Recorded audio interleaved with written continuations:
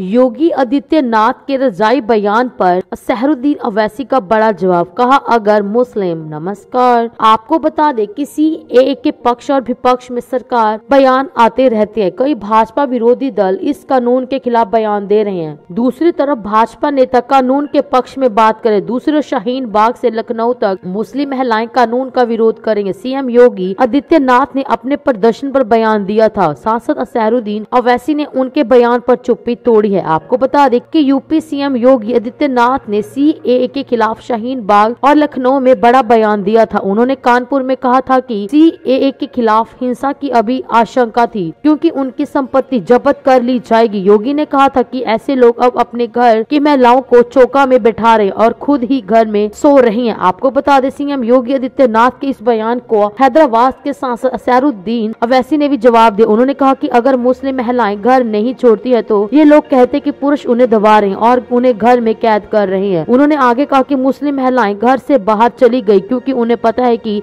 इस कानून से देश के संविधान को खतरा होगा